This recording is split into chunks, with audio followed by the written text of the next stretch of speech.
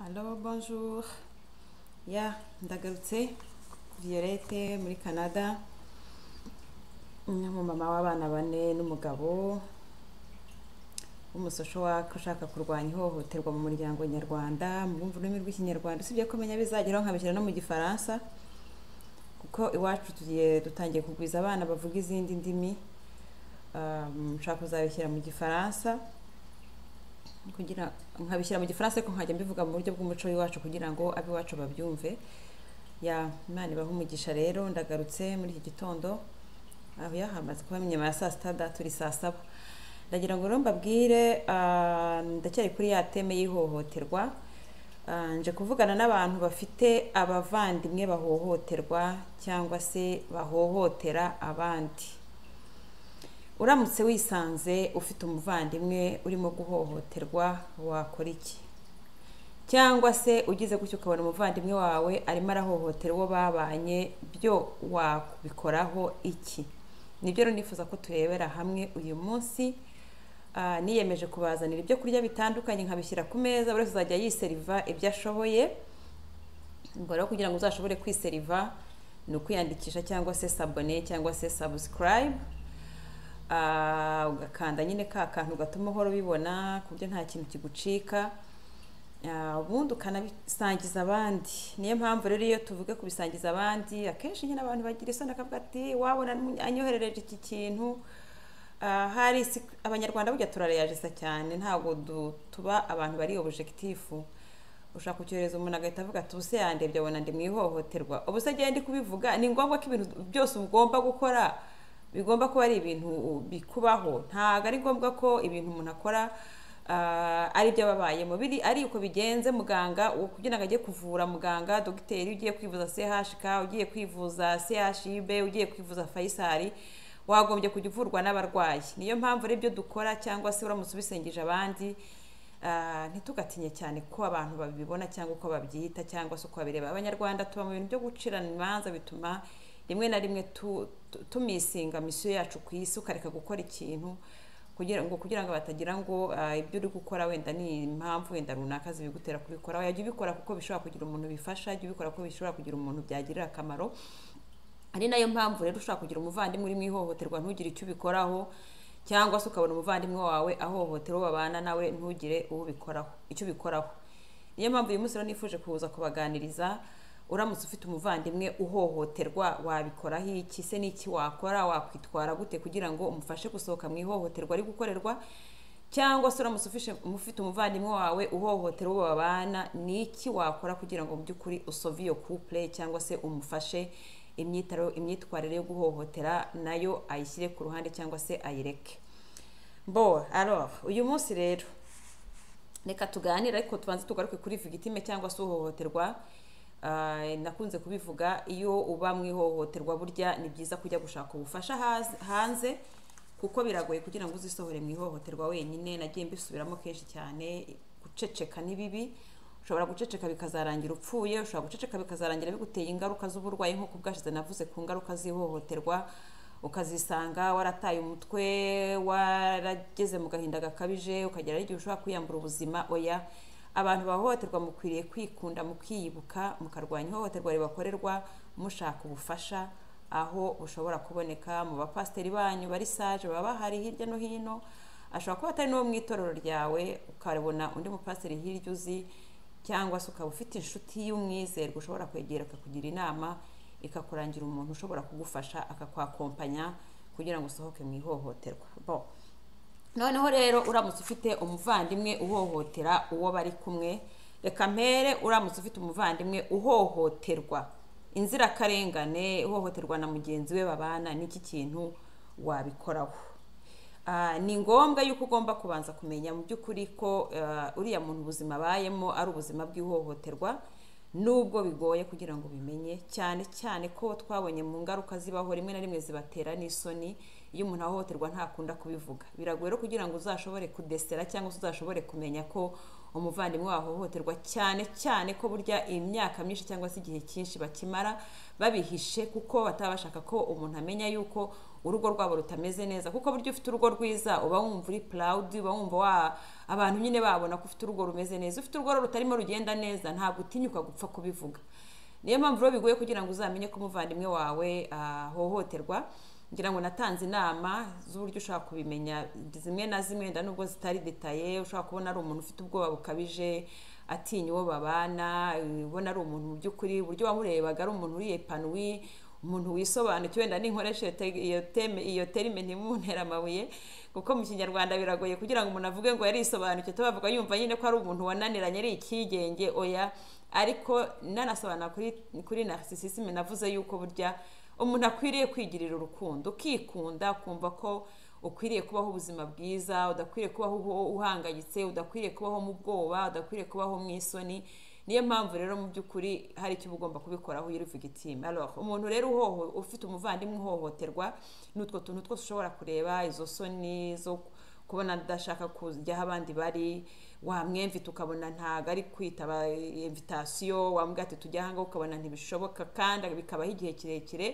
Hari igihe umuntu ashobora kugira urwitwazo rimwe kabiri gatatu adashobora kujya aho abandi bari adashobora kujya iwabo adashobora gutumira abantu mu rugo rwe ntashobora gupfa kujya aho abandi bari ariko ntanashobora no kwakira n'abandi we kubera ko afite ubwoba bwa reyagisiyo y'uwo babana.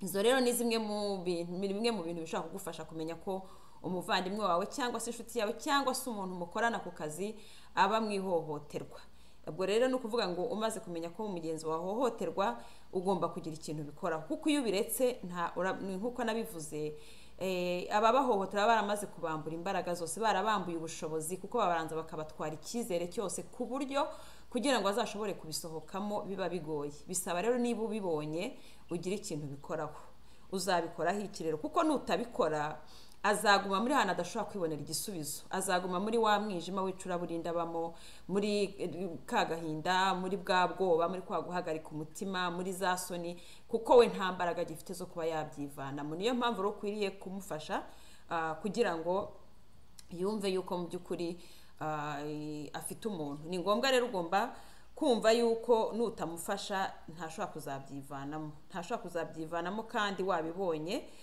cyangwa se ngo utegereze yuko azirwanaho. Hari igihe kwirwanaho byanga pe ntashobore kuba yakwirwanaho ngo abivemo cyangwa se mu by'ukuri ashobore gusohoka muri icyo kibazo aba arimo. Rero reka mbabwire utuntu duke cyane dushobora kugufasha gufasha umuvandimwe wawe cyangwa se umuntu uri bugufi bwawe mu gihe yaba ahohoterwa. Mu gihe ubonye umuvandimwe wawe cyangwa inshuti yawe cyangwa umukorege mukorana ku kazi cyangwa umuntu muturanye ukabona afite ubwoba. Ni umuntu uhorana ubwoba. Ukwiriye kugerageza kumwegera akumva ko afite umuntu uri hafi. Ukamutega amatwi ukagerageza gushakisha kumva imvano y'ubwoba ahorana. Nicyo atinya. Kuki afite ubwoba bwo gusohoka iwe ngo ahure n'abantu? Kuki ubona iyo umubwiye uti se tuze kugusura? Ashobora kuvuga ati ntimuze kunsura. Ukabona afite ikintu cy'ubwoba cyangwa se ukabona hari n'ibindi bintu adashobora gutinyuka kwikorera. Ukwiriye kumwegera ukamutega amatwi ukagerageza kumujyana gahoro gahoro. Birabujijwe kumugenda umuhutaza amubwira ati ariko nawe urakabya. Kuko iyo utangiye kumubwira gutyo uba urimo none kumwongerera gukomereka cyangwa se uri kumwereka yuko ibintu abamo ari we wabyiteye. Rero ukagerageza kumva ubwoba bwe afite cyangwa se dute cyangwa se gushidikanya ibintu bimwe agenda ashidikanyaho ukuntu ibintu bimwe ubona asa nkaho abitinya bimwe akaba yabijyamo ibindi akabivamo ukabona ni ibintu niba yagiye gukora ikintu ukabona yisubiye ukwiriye kumwegera ukamenya uko gutinya ku kuntu ubona atajya mu kintu ngo ubone akigiyemo ukagerageza kumva ubwo bwoba ahantu buva. Rero ni ukuvuga ngo ikintu cya mbere ugomba gukora ni ukumwegera ukamwereka ko uhari kandi ukamutwara kuri ritime ukamubwira uti ndahari nkenera nzaba mpari nushaka kumvugisha uzamvugishe. Ni bumwe mu buryo bukoreshwa icyo bita ekutagitive ni ukuvuga ngo kwereka umuntu ko uhari kubwe kandi naramuka agukeneye azakuvugisha eho rero umuntu ashaka kuzavuga ati ariko burya buribona afite ubwoba cyangwa se ubona bimeze kuriya bizagufasha kumenya imvano y'ubwoba afite. Ikindi kwiciraho urubanza ukabona ameze nk'umuntu uhora uvuga uti nige munyamakosa nige munyamafuti cyangwa se isoni. Uko ugenda umwegera ibyo ni ibintu ushobora kubona ku muvandimwe cyangwa se ku nshuti bizagufasha gusobanukirwa mu by'ukuri impamvu yabyo. Kandi bizagufasha no kumenya noneho na rwa ruziga navuze rudacika rw'ihohoterwa kuko ikizabikubwira ko abamo ihohoterwa ni uko ibyo bintu uzabona bihora bimubaho. Bizajya bihora bigaruka bigaruka bigaruka. Rero ni ukuvuga ngo kugira ngo ushobore gufasha uwo muvandimwe ugomba kumwegera ukamwereka ko uhari utamwihutisha cyane ku muvuduko wawe oya ugomba kugendera ku muvuduko we. Niba agenda gahoro ugomba kugenda gahoro. Ukajya uba disiponibure ukamumenyesha ko uhari kandi igihe cyose azumva agukeneye uzamwitaba kandi ukamumenyesha yuko atari wenyine. Noneho kugira ngo umubwire ati ariko nawe urakabya ibintu ubamo mbona ntazi ibintu ubamo mu by'ukuri wari ukwiye kugira ikintu ubikoraho oya. Kuko uri kubikora gutyo kuri we ni nk'aho uba umubwiye uti uri responsable y'ibikubaho ni wowe ubyitera cyangwa se akuva mu by'ukuri ni nk'aho umujija ni nk'aho umuca urubanza ni nk'aho uvuga uti situwasiyo urimo ni we wayikururiye ni we nyirabayazana. Oya ugomba kugerageza kumva ubwoba bwe afite isoni afite ibimuhangayikisha ariko ukagenda kuri ritime cyangwa se kuri vitesi ye ukamutega amatwi ukamubwira ko uhari. Yazagukena ukuvuga ati wazankenera nimugoroba nzakwitaba nunkenera mu gitondo nzakwitaba uzansigire mesaje unyandikire mesaje unyoherereze voice note. Nimbona akanya nzagusubiza ariko umenye yuko. Nubwo ntagusubiza uwo mwanya ariko ujye umenya yuko ndahari nzajya nkwitaba nzajya ngusubiza. Aho nzajya mbonera mesaje yawe nzajya ngusubiza umenye ko mpari. Horo n'ubu bishobora kuzagufasha kugera ubwo azagufungukira akakubwira ikibazo cy'ubwoba ahoramo ikibazo cyo gushidikanya ahoramo guhora yica urubanza ni ho uzashobora gufasha umuvandimwe. Ikindi rero ni uko muri uko kubaho uhari ukamwereka ko ahari bizasa n'ibimuvana muri cya kintu kimeze nk'akazitiro cyangwa se akato abamo yashyizwemo na wa muntu umuhohotera. Kuko uriya muntu umuhohotera ikintu cya mbere aba ashaka gukora ni ukumuca ku bantu. Ni ukuvuga rero ngo ikintu uzakora uko bizagenda kose ntabwo iyo bavuze kuba mu kato ntabwo ari gusa kuvuga ngo ni uko mwahuye amaso ku maso. Ushobora no guhura n'umuntu kuri telefone ukaba disiponible nk'ubu ndabaha urugero hari abantu turi kuvugana kuri telefone ndi kugenda afasha muri ibi bintu. Bari i burayi bari muri amerika bari mu rwanda turavugana kandi nkabaha ama exercice bakora nkabaha utuntu bakora nkabaha utuntu bapurika kandi bakagenda babyapurika la bakagenda banambwira bati turabona bino bintu birimo gukora. Ni rero ngo nshobora gusohora umuntu muri ako kazitiro muri uko kwigunga. Ndi hano muri canada wari mu rwanda nkamufasha akavuga ati uko biri kose nzi yuko violette ahari nubwo ari muri canada ariko nzi yuko ahari. Kuboneka rero kuvana umuntu mu kazitiro si agashungo yuko mwagiye kunywa kafe mwagiye kunywa icyayi mwagiye kunywa fanta oya. Ni ukuvuga ngo ni kugira wa muntu uzi ko ari bukumve. Situwasiyo urimo ibikubabaza ibiguhangayikisha umuntu akumva yuko afite umuntu babana afite umuntu umuri hafi. Iyo niyo myitwarire ugomba kugira mu gihe ufite umuvandimwe uhohoterwa cyangwa se ufite inshuti yawe ihohoterwa. Ikiro kizatuma mu by'ukuri nubwo umuhohotera asa n'aho ashaka kumugumisha muri muri ya gereza ye ya izoroma yo kumushyira ukwe ngira ngo nivuga izoroma murabyumva ibyo kovide yadukoze gushyira abantu mu kato. Mbese abantu bahohotera abandi buriya kovide yaraduhohoteye cyane kuko yadushyize mu kato kabisa ituma abantu badashobora gusohoka ngo bahure n'abandi. Niko n'abantu bahohotera abandi nabo mbese bakora ibintu nka biriya bya kovide yadukoze. Donke ni ukuvuga ngo nubwo bimeze bityo nubwo agerageza kumubuza kujya aho abandi bari ariko wowe ugomba kujya umwankuraje ukamubwira ko uhari kandi ukaba wanamugira inama n'ukuntu ashobora gusohoka rimwe na rimwe mugahura ariko nanone kandi atagize ibintu aburitariza cyangwa se ngo abisenye ibyo ndabivuga mu muco w'iwacu ugenda nababwiye ko nzajya ngerageza gufata ubumenyi mfite ari bwo navanye muri canada ari bwo navanye hehe nkagerageza kugenda mbwadabuta ku muco w'iwacu kuko abazungu barakubwira ngo niba ari uko bimeze ikintu cya mbere uzamufasha ni ukubanza guhita umuvana ukamwirukankana oya njye ntabwo ari uko mbishaka si uko nshaka gufasha abanyarwanda kuko ni umuco wanjye ndashaka kuzabikora mu muco wanjye ndashaka kuzabikora ngerageza kubyadabuta ku by'abanyarwanda. Ikindi rero numva muri kwa kumwereka ko uhari kumwereka ko atari wenyine ikindi ni uko uzagerageza gufungura ikiganiro ukamugeza ahantu avuga uko abona ubuzima abayeho. We ubwo akagerageza noneho kubuvugaho. Ukamujyana gahoro gahoro ukamutega amatwi ukamufasha ukora icyo bita rofure ugasa nkaho umujyana ariko mu buryo buri du mu buryo bworohereye mu buryo butamukomeretsa mu buryo butamushinja mu buryo butamuciraho urubanza mu buryo butamwereka ko ari we munyamafuti. Kugeza igihe noneho akubwira ati yewe koko ibintu ndeba mbamo burya ni ihohoterwa. Kuko biragoye kugira ngo usohore umuntu mu ihohoterwa ataramenya ko ahohoterwa. Kandi icyo kintu narakivuze ndumva narakivuze inshuro zirenze imwe ikibazo cy'abantu b'iwacu n'umuco tubamo ni uko abantu baba mu ihohoterwa ariko ntibamenye neza rero ko ikintu babamo ari ihohoterwa. Ni ngombwa no gufasha umuntu kugira ngo nawe umugeze ahantu abyumva kandi noneho ashobore kugira icyo abivugaho. Akubwira uko abibona akubwira uko abyumva akubwira uko abiviva uko abibayemo. Ibyo rero na byo biri mu bintu bizagufasha kugeza ubwo uzashobora kumusohora mu bibazo arimo. Ikindi nanone ikintu uzakora mu byo muzavuga uzirinda gusa naho uvuga cyane cyane umwageresa wowe uzavuga situwasiyo y'umuntu uvuga utari ko uhorana ubwoba. We aba ari we uzabubwira. Niwe uzaba wiyaderesaho ntukeneye kuvuga mugenzi we kuko mugenzi we ni indi kesi ni indi kesi na turaza kwegeraho nawe ko umuntu yamufasha. Ariko ni ukuvuga ngo wowe ahantu uri bimeze gute? Ntujye kuvuga usa naho uvuga uturumva yaraguhemukiye ni umugome n'iki kuko uriya muntu nubwo amwageresa cyangwa se nubwo amuhohotera ariko nagiye mbivuga ni uko nawe afite vide muri we ni uko nawe afite ibikomere muri we ni uko nawe hari ikintu adafite nta muntu ushobora gutanga ikintu adafite ni ukuvuga ngo uriya muntu uhohotera mugenzi we rero nawe hari umubabaro uri mu mutima we.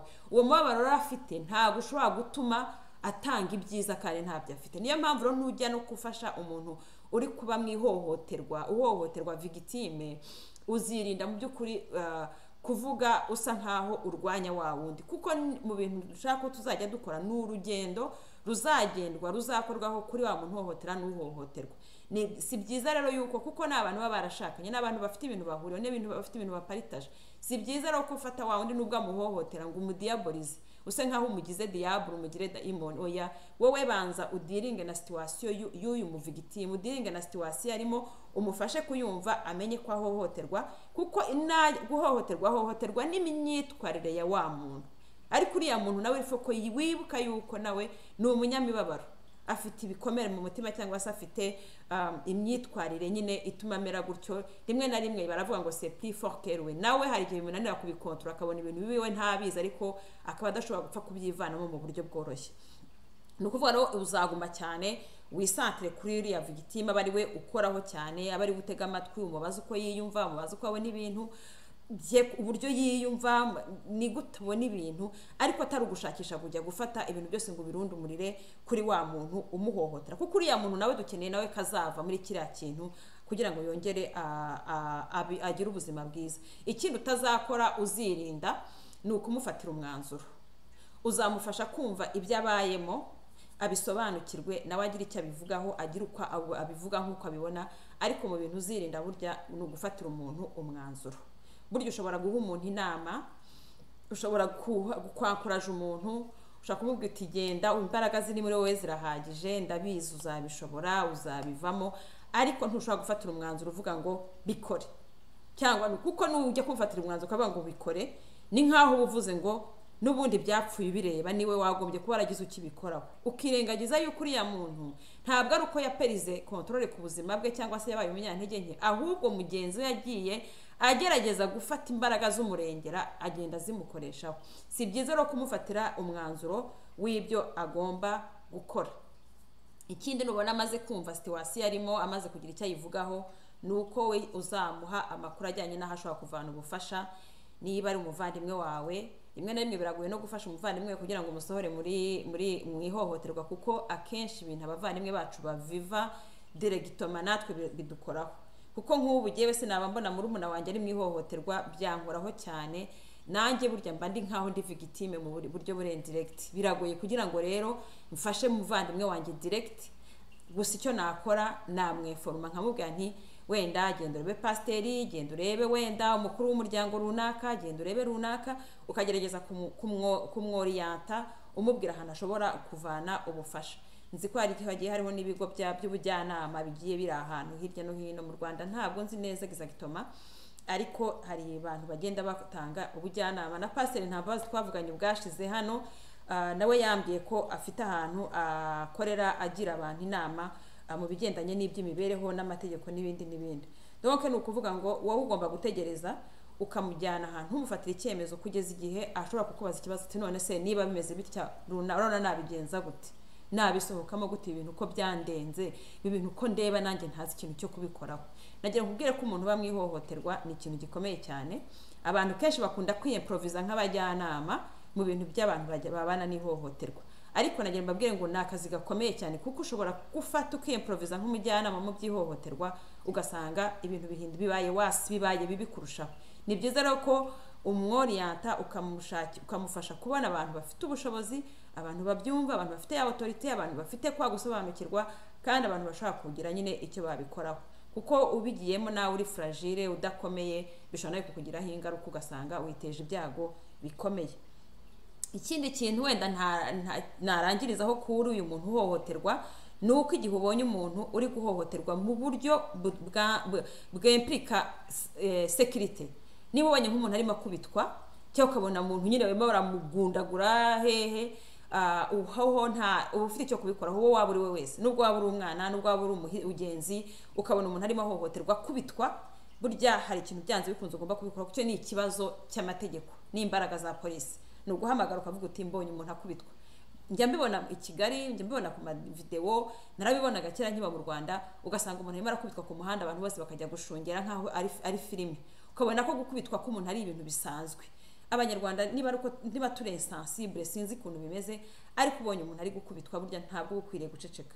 Iyo uza kuba uri muri bino bihugu ukabona icyo kintu ntubivuge. N'amategeko yagukurikirana kuko ni byo bita non assistance la personne qui en danger. Ugomba kugira ikintu ubikoraho ugomba guhamagara um, inzego z'umutekano kugira ngo baze bafashe uwo muntu.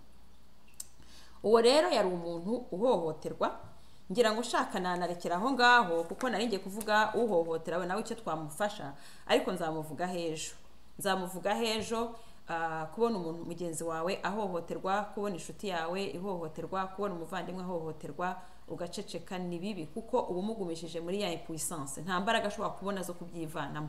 Ni ukuvuga ngo ihohoterwa rero ni ikibazo cya sosiyete ntabwo ari ikibazo cy'umuntu umwe ni ikibazo abantu bose bakwiriye kugira icyabo Ah, ni ikibazo gikonserina umuturanyi wawe kiramureba umuryango wawe kiramureba abavandimwe bawe kirabareba abaturanyi kirabareba. Ni ukuvuga ngo ihohoterwa sete fenomene sociale bireba sosiyete bireba umuryango mugari wose ntabwo ari ukuvuga ngo nzagira icyo mbikora kuko azaba ari umwana wanjye cyangwa iki. Ujye wishyira mu mwanya w'undi uvuga uti ibi bintu biri kuba kuri uyu muntu yaba ari igihe byari biri kubaho.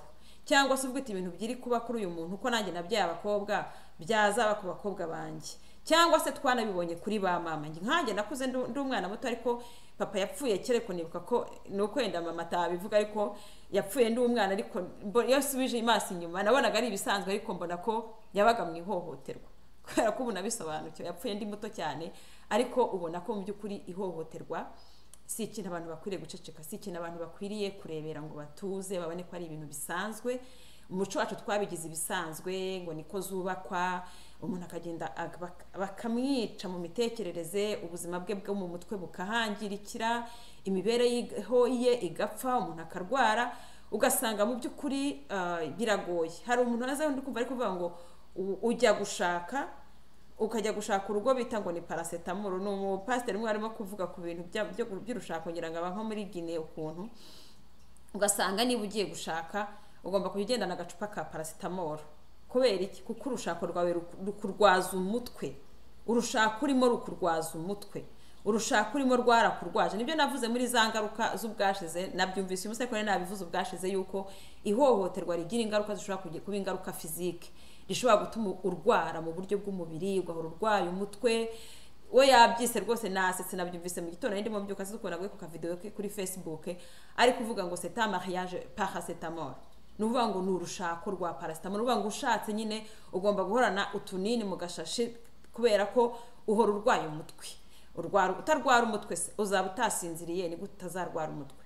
Burya ubuzima bwose ugomba kuryama ugasinzira. Kuko iyo usinzira ni bwo memwari yawe cyangwa se ubwonko bwawe bukomeza gufungisiyona neza ntiwibagirwa ariko kwa kundi uhora uhangayitse ntusinzire. Bya bindi bita rosomeye reparateur Ibi- ibitotsi bi- biza bikongera bikubaka umubiri bikongera bigasana. Kuko ku manywa tuba twatakaje energy nyinshi ku manywa tuba twa hari ibintu byinshi bya- byangiritse ariko burya usinziriye neza nijoro ni ukuvuga ngo haba habayeho kongera gusanwa bya bintu byangiritse bikongera bigasanwa. Rero utaryama ngo usinzire ntuzabura kurwara umutwe uzasaza imburagihe uzasanga ah, nk'ufite imyaka mirongo ine n'ibiri. Ariko ugereranije n'umugore ufite uba mu ihohoterwa afite imyaka mirongo ine n'ibiri ushobora gusanga ashaje kundusha. Ushobora gusanga ashaje kundusha rero ni ukuvuga ngo ihohoterwa rifite ingaruka mbi ku buzima bwacu bw'umubiri fizike bishobora kuguteza guhangayika kwa guhangayika. Murabona ukuntu amakanseri yabaye menshi amakanseri yabaye menshi kubera ikintu kubera ziriya ni sinibuka ukuntu babyita ngo eh, bi- bi- bi- bivuburana nk'amvubura ziri mu mubiri. Bikagenda bi- biburira ibintu ugasanga abantu badevelopye deserire kanserezo abantu bakarwara za kanseri kubera guhora muri za stress kubera guhora abantu bahangayitse guhora mu mihangayiko ni ibintu bibi. Niyo mpamvu rero ari wowe uri victime ugahora bimeze gutyo. Ah, ni ukukubwira ngo reba situwasiyo yawe urimo uyikomplene neza urebe uko washaka ubufasha. Kandi niba ufite umuvandimwe hafi yawe uri guhohoterwa nawe ukwiriye kumutega amatwi ukamwumva ukamuherekeza muri uru rugendo kugira ngo azashobore kurusohokamo. Ntabwo byoroshye ndabisubiramo buri gihe ni urugendo rurerure. Ntuzajye kuvuga ngo uzajya gufasha umuntu wumve ko ari iby'umunsi umwe cyangwa iminsi ibiri cyangwa icyumweru cyangwa ibyumweru bibiri. Ni uko iyo uvuze ngo ngiye gufatana urugendo n'umuntu uri kuba mu ihohoterwa ni urugendo rw'ibihe birebire. Kandi ukaba ugomba kuba disponible kuba disponible cyangwa se kuboneka mu gihe agukeneye byibuze nanagusigira message ariko aho uyiboneye uyisubize. Nakubwiye kuko ushobora kwirengagiza message ugasanga bamwishe. Ni ukuvuga rero ni ngombwa ko uba disponible. Ni ngombwa ko uboneka ukamutega amatwi ukamufasha kumva situwasiyo ye ntumufatire icyemezo kandi ukirinda kumuburama cyangwa kuvuga ngo ni wowe ngo urumva ngo nawe ngo ntacyo wabikora ngo ntacyo wabikozeho ngo ubuse ngo urumva ngo niba ngo utagize icyo ubikora ngo urumva wenda muntu wundi uzabikoraho. Wibuke kuri uriya muntu yamaze kwamburwa imbaraga ku buzima bwe. Ntagifite imbaraga hari ibintu byinshi atakireba yarabyemeye. Aho abantu bagera- bageraho bakadevelopa icyo kintu cyo kubyemera bakumva ko ari uko bimeze ni ubuzima none nta kundi kuntu nabigenza. Nk'ubu njya mpura n'abantu benshi bakambwira ati viyore ati warabivuze ati numvaga ari uko bizagenda iteka ryose. Hari abantu turi kuvugana bakesiyotuna akambwira ati "Mm, tuzi ko nabonye hari ikintu byatanze. Ibyo na byo tuzabigeraho ukuntu na byo ari urugendo ruba rugoye cyane kuko o debi utangiye nanone kubitaravayaho bizana udukirize bizana utuntu tutworoshye ariko uba wizeye ko byibuze n'ubwo urugendo rwaru- rwagorana ariko ruzageraho ukagera kuri resulita ushaka. Hariho nahoze ndi kubwira yari yakoze ikintu nyine namuhaye exercice amaze kuyikora abona crise nyine iriyagarabye ndavuga nti impamvu yiyagarabye ni uko burya iyo uteye ibuye mu giti iyo nta nyoni igurutse ubwo nta yari irimo. Ubwo rero kubona iyo crise ni uko inyoni yagurutse ni uko yabonye ko hari ikintu gitangiye guhinduka. Ariko ntanga inama ivuga ngo yewe muntu uhohoterwa ntabwo ari igihe cyo kuvuga ngo ngiye gufata nigaranzure si ukwigaranzura uwo mubana. Oya si ukwigaranzura uwo mubana ahubwo ni uburyo wongera ukaba wowe ukongera ukabaho ubuzima bufite intego ubuzima bu- bu- bu- wumva kuri mu kubaho. Bitari ukubaho nk'uwapfuye. Hari abantu babaho bameze nk'abapfuye. Oya ahubwo ni ukugira ngo wongere ubu- ubuzima bwongere buremeke muri wowe wongere ugire uburyohe bw'ubuzima wongere uryoherwe no kubaho. Ya wongere uryoherwe no kubaho ariko bitari ukuvuga ngo ngiye kumwigaranzura nanjye mwereke ko oya. Niho rero harimo imyitozo yo gukora ibintu uzakora bitari ukwigaranzura mugenzi wawe umubwira uti nanjye yabikoze nanjye ndaje nkore ikindi mite mwereka. Oya hari ibintu ugomba gukora ku buryo uriya muntu uzamufasha kuzagera igihe uzabisohokeramo kuko akenshi ibintu byica eh, ibintu ni uko akenshi dushaka gukosoza amakosa andi makosa. Niba akora ibi nanjye nda- ndahita nkora ikindi kirushijeho mwereke yuko nanjye burya nanjye ari cyo nshobora gukora. Ntabwo ari byo nshaka kwigisha abantu. Ndagira ngo abantu bagerageze bivane mu ngorane z'amahohoterwa mu buryo bw'amahoro mu buryo buri pacifique kandi sinifuza ko hari urugo na rumwe rwatandukana. Nahoze ndi kubivuga kuri evangelize monde tv ejo yuko ikintu kizanezeza ni ukubona umuntu wasohotse mu ihohoterwa kavuga ati inyigisho numvise zaramfashije nashoboye kubivamo nkongera nkumva undi muntu wenda uzavuga uti najyaga mpohotera umuntu. Nubwo atabivuga hano wenda hano ndarosova amatemoignage en privé ndarosova ndi kwakira amate- ama ubuhamya sorry ndi kwakira ubuhamya mu ma message yanjye ya whatsapp mu ma message ya za za facebook. Abantu bari abashobora kumpamagara barampamagara kuri telefone kuri za whatsapp ndakira ubuhamya bw'abantu benshi cyane. Si ngombwa ko ubutanga. Cyane cyane hari igihe n'ibyo nza kuvuga ahangaha ni esipira n'ubwo buhamya bwinshi bugiye butandukanye ndanasoma ah, nkanafata n'ibyo nyine sanzwe nzi noneho nkagaruka noneho nkabibafashisha mwese mwese. Ubwo rero ni ukuvuga ngo ushobora kuba ufite umuvandimwe uhohoterwa ushobora kuba ufite inshuti ihohoterwa ntabwo uzi ikintu wabikoraho ntabwo uzi ukuntu wabigenza umva iki kiganiro. Ucyumve ah, ugitege amatwi neza kandi nugira ibibazo ukavuga uti nzi umuntu uhohoterwa ariko wavuze ibintu ariko hari ukuntu mbona bi- bincanga. Kuko ibyo mvuga ahangaha ni utuntu dukeya. Biba byinshi iyo ndamutse iyo umuntu ambajije ndamusobanura nkamuha prise de detaye kandi noneho iyo umuntu ambajije ku giti cye nshobora kugenda noneho nadabuta inama kuri situwasiyo ye. Kuko ibi mba ntanze biba biri general ariko buri kesi yose iba yihariye buri couple yose iba yihariye buri muntu wese aba yihariye. Ni ukuvuga ngo abantu bashobora kuba barwaye indwara imwe bakabaha imiti imwe ariko dozaje igatandukana kuko molekile ziba ziri mu muti umwe um, ziba zijyana hari ibintu byinshi hari parametere nyinshi abantu baba bagomba kureba. Ni kimwe rero. Bareba ibiro bareba uburebure bareba umuvuduko bareba ibintu byinshi kugira ngo muganga ashobore kukwandikira imiti. Rero uvuga ngo buri kesi yose mu buzima burya iba yihariye nawe urihariye urugo rwawe rurihariye uh, uwo mubana arihariye rero niyo mpamvu no gufashwa no kubona ubufasha nabwo buri wese aba akwiriye kubona ubufasha buri adabute kuri, kesi yiwe cyangwa se kuri situwasiyo ye. Kuko buri muntu wese ari unique buri muntu wese arihariye. Imana rero ni umukozi w'umuhanga yaturemye mu buryo bwihariye mu buryo butandukanye mu buryo bw'igitangaza. Eh, ijambo ry'imana rivuga ngo twareme mu buryo butangaza. Ni uburyo butangaje kuko violette niyo wazana undi nubwo we naba afite impanga yanjye dusuku. Ariko burya hari ikintu tuba dutandukaniyeho. Kuko buri muntu wese ari unique buri muntu wese afite uwe mwihariko eh, ushobora gusanga ameze gutya ariko ugasanga ibintu nihanganira bitandukanye n'ibyo umuntu wabonaga ameze nkanjye ashobora kwihanganira ibintu nta kwihanganira ugasanga hari undi muntu ubyihanganira kandi wenda twaronse rimwe tuba mu bintu bimwe ni ukuvuga rero ngo ndi unique nawe uri unique bezuwe zawe cyangwa se ibyo ukenera ni wowe ubwawe. Rero ni cyo kintu abanyarwanda tubura. Abanyarwanda turajeneraliza cyane twumva ko icyafungisiyo n'iwanjye kizafungisiyona no ku bandi bose.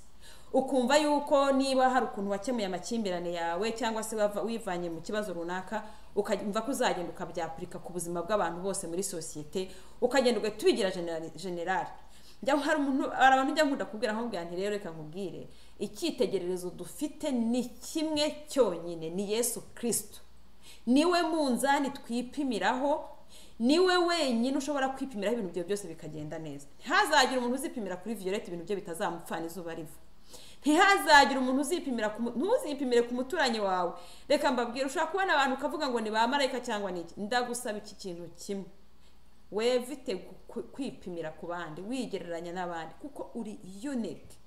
Uri unique urihariye imana yakuremye mu buryo bwihariye ibyo ukeneye birihariye.